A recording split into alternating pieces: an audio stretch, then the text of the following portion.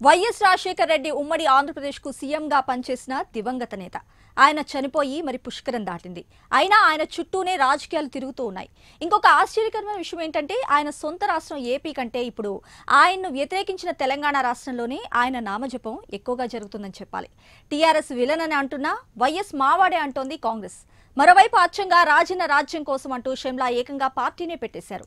అసలు ఇంతకీ రాజశేఖరుడి జపంతో ఎవరికి లాభం ఎవరికి నష్టం? Watch the story.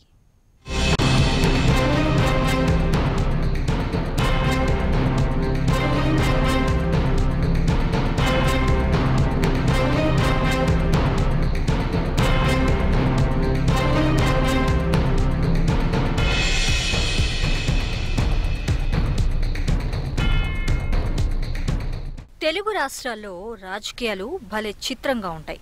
రాజకీయాల్లో బాగా యాక్టివ్గా ఉన్నవాళ్ళు రెండు రాష్ట్రాల్లోనూ చాలా మంది ఉన్నారు.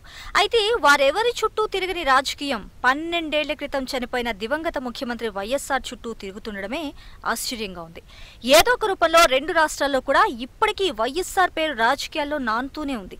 తెలంగాణ రాజకీయాలకు సంబంధించి వైఎస్ఆర్ను ఒక విలన్ లాగా మంత్రులు ప్రచారంలోకి తీసుకొస్తున్నారు. మరి సరిగ్గా ఇదే సమయంలో ఏపీలో వైఎస్ఆర్ పేరును హీరోగా చిత్రీకరిస్తున్నారు.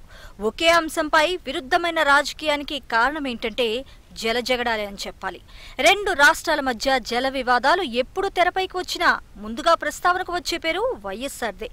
మొత్తానికి ప్రస్తుతం రాజకీయమంతా వైఎస్ చుట్టూ తిరుగుతుండడమే ఆశ్చర్యంగా ఉంది.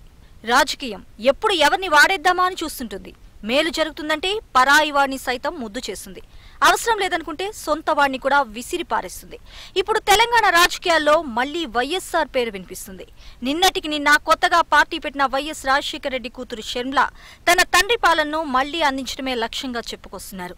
రాబోయే ఎన్నికల్లో తండ్రి ఫోటో పెట్టుకునే ఓట్లు అడుగుతారన్నది నిర్వివాదాంశం. తన తండ్రిగా ఆయన పేరును వాడుకునే హక్కు తనదే అన్నది ఆమె వాదన. ఇటు కాంగ్రెస్ కూడా వైఎస్ జయంతిని జరుపుకుంది. పలుచోట్ల నివాళులర్పించింది. పీసీసీ అధ్యక్షుడిగా రేవంత్ రెడ్డి స్వయంగా ఆ వేడుకల్లో పాల్గొన్నారు. దీనికి వారు చెప్పే సమాధానం ఆయన కాంగ్రెస్ పార్టీకి చెందిన నాయకుడు.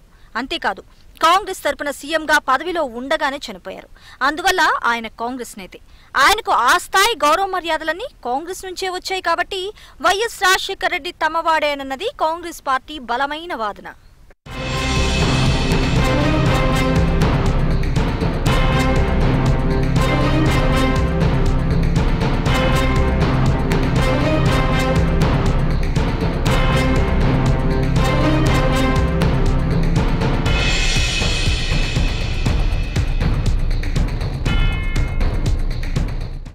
వైఎస్ఆర్ పేరు ఎవరు వాడినా అంతిమంగా రాజకీయంగా లబ్ధి పొందేందుకే అన్నది సుస్పష్టం. అయితే మెజార్టీ షేర్ ఎవరికి దక్కుతుందనేది ఇప్పుడు ప్రధాన చర్చ. వైఎస్ చనిపోయి దశాబ్దం దాటిపోయింది. ఆయన చనిపోయిన వెంటనే జగన్ రాజకీయంగా వేగంగా పావులు కదపడంతో ఆయనకు అక్కడ సెంటిమెంట్ బాగా వర్కౌట్ అయింది. ఆ వేడి మీద జనం అటు తిరిగారని కూడా చెప్పొచ్చు. అంతేకాదు రాష్ట్ర విభజనలో ఏపీకి తీరని అన్యాయం చేసింది కాంగ్రెస్ అన్నది ఏపీ ప్రజల కోపం. దీంతో కాంగ్రెస్ అభిమానులంతా జగన్ వెంట నిలవాల్సిన అనివార్యత. ఏపీ తొలి ముఖ్యమంత్రిగా బాబు పాలన కూడా చూసిన తర్వాత అప్పుడు ప్రత్యామ్నాయంగా మిగిలిన ఏకైక వ్యక్తి జగన్ వైపు అందరూ నిలిచారు. ఇవన్నీ కలిసి వచ్చి వైఎస్ఆర్ ఫార్ములా సక్సెస్ అయిందని చెప్పుకోవచ్చు. మరి తెలంగాణలో ఆ పరిస్థితి ఉందా అన్నది ప్రశ్న.